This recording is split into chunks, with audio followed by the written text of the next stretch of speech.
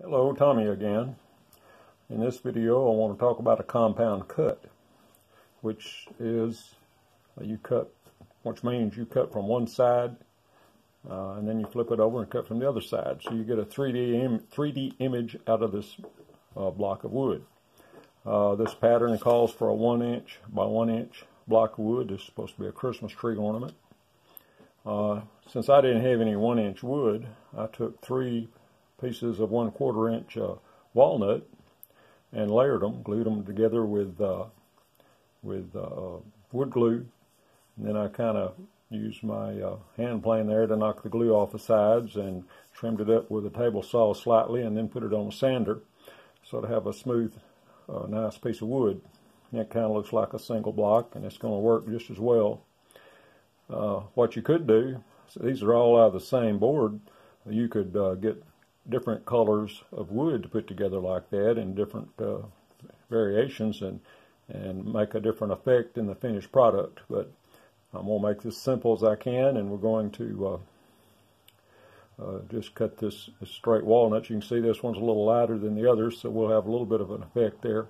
But that's not really what I was after. I just wanted to get a block of wood. So as you can see the pattern comes in two pieces. I've already folded it right on that line and I'm going to mount it just like that. But first let me get some tape on it and then I'll show you how that looks. Okay, so I put some a little tape on the blue tape on the piece. Then I glued uh, the pattern to that. You can see how it covers two sides. Then I covered that with my clear tape that I like to do. And these are all internal cuts. You have to drill both sides. There's three cuts per side uh, so I drilled these three, and then I drilled these three. I used a little smaller drill here because it's kind of a small area to put this big a hole in. It kind of raises the edge, can mess up your pattern. So what I'm going to do, I'm going to put a number 5 skip tooth blade in my saw. This is a little thicker than what I normally cut, so I'll make sure I got a skip tooth.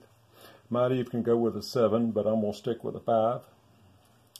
And so what you do is you cut one side, you leave all the pieces in there and put a little tape on it. I got some three quarter inch tape when I get to that point.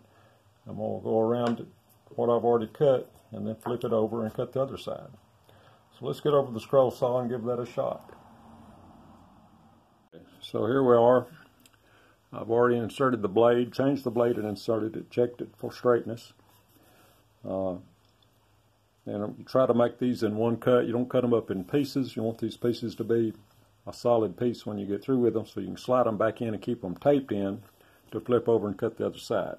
I've also slowed the saw down because it's a thicker wood. It's not a real soft wood, but it's not real hard either. I've got a skip tooth blade. I believe it's actually a 7. It was in my 5 bin, but looks like it's a 7. But I'm going to try to cut with it and see how we go.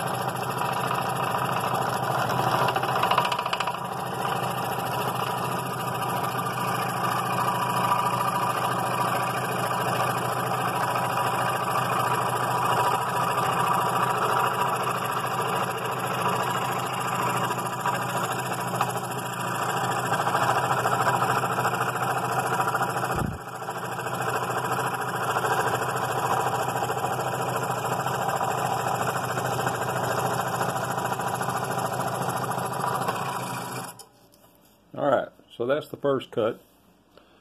I'll go ahead and cut the other two pieces and we'll cut the outside. I'll, I'll come back after I do that so we won't have to film the whole thing. So here's the next critical step. I've cut these three in, or I just went and took that one all the way out. I've cut these two pieces. I've cut all the way around. I made I've come from the end right there instead of using a, a drill hole. I just came from the outside, made then an external cut. So these pieces will all slide out now independently. But we're only halfway through cutting. We need those to stay in place. So what I'm going to do next is I'm going to take this tape and I'm going to go around it on this side to make sure it stays in place uh, so I can cut the other side. So let me do that and we'll look at it. Alright, so there I've gone around it. I put two layers so I can cover all the way to, to the, both edges. And so now we can treat this like one solid block of wood to cut this side. Now one thing I did do uh, on the uh, on the first cuts here is I switched blades between these two holes because uh, that one was just too aggressive and it was a reverse tooth so it was grabbing the bottom and was making it really difficult to hold down. So I finished it with a number 5 skip tooth, also a reverse tooth. It's best not to use reverse tooth on something like this because it's harder to control and you don't really need it because your cuts are all, the things, pieces you're cutting are all going to be inside. You're not going to have to worry about the fuzzies on it. But I didn't have any non-reverse tooth. That's almost what I use exclusively. Um, I had to get me some different ones to do any more compound cuts, but this worked fine. Plus, I also said that I slowed down. The main reason I slowed the, the uh, saw down is this is fairly thick, and it's uh, you have to stay with it to cut through it. It's not an easy cut. And you can generate some heat if you don't, because it's, it's an inch thick. Uh, you can generate some heat and start burning the wood. And you can tell by the smell if it starts getting hot. Uh, so I slowed down and not only the, the speed of the, of the saw up and down, but uh, the for, forward cutting.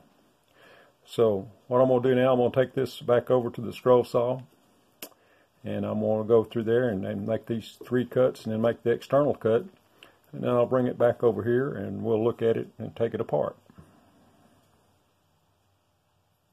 So a couple of points I wanted to make here at the scroll saw. Uh, something I didn't talk about. When you drill something this thick, sometimes it'll push out the wood at the bottom and the problem is it'll give you a surface that it'll want to rock on on top of the uh, the table there. So you may have to kind of, uh, uh, I used a little cutter and kind of cut some of that off so it dried smooth on the uh, tabletop. Now, I've already made this one cut. I did find me a non-reverse tooth blade thing is it's a three, but it's it's cutting okay. And I'm to continue with it. I just got one more internal cut in the external cut. Uh, also want to make sure, tell you to make sure when you insert your uh, your pieces in in the first side that you can get them lined up. Otherwise, this hole won't line up in that internal piece. That's what I did here. I just took it over to the drill press and re-drilled it. It's not a big deal. Here we go. I'm going to cut this last internal cut right here.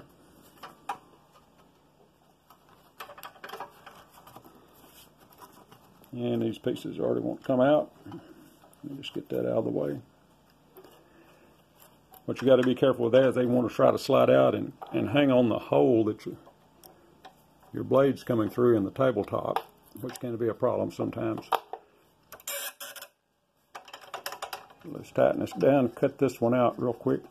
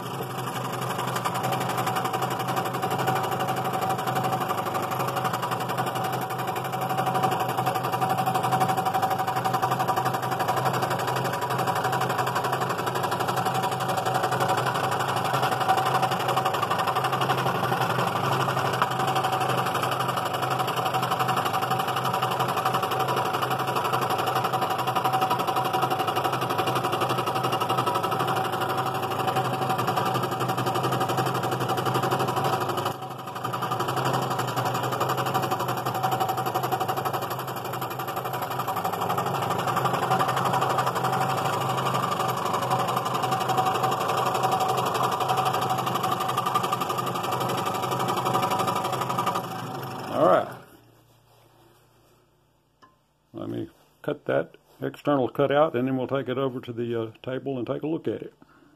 Okay, so I got all the cuts made. We're going to try to slip it out of there now. See if we can. All in one piece. Got that to come off. Slide it right on out. Pull your internal sections out of it.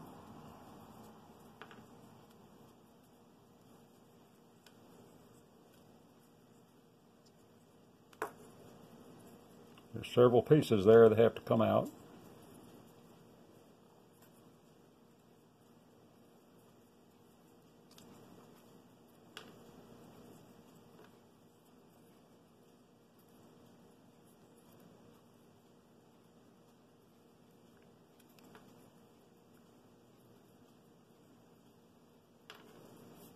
And there you go. The only only advice I'd have is on this on the top pieces of the little things like this, cheat on the outside of the line because those are very delicate. It'd be very easy to break, get them too thin. But there is a compound cut. That's you cut from both directions, get a 3D image, and you can see what I'm talking about. If you had layered that with different uh, colored woods, you could get a, a different effect there if you wanted to. Now this this wood doesn't cut as nice as some. This is uh, walnut if you cut out of a harder wood like rosewood, it'll, it'll cut out shiny. It'll be very much nicer, but this is okay too. Uh, I kind of like it, a nice smooth shiny cut on, on an item like this, but this is the wood I had available, so that's what I used. Uh, I've got another lesson coming up. Uh, possibly may do something about stack cutting. We'll see if I can find a simple stack cutting pattern. Uh, but we're coming to the end of the, the basic stuff I want to cover. I'm only doing some projects. Uh, try to show you do some projects without a pattern or, or, how to create your own pattern.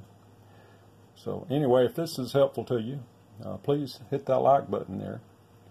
And if you have a comment or a question, please post it down there and I'll respond to you. And hit the subscribe button if you're not subscribed. And uh, we're going to move forward with some different types of projects. So I hope you enjoyed that, and thanks for watching.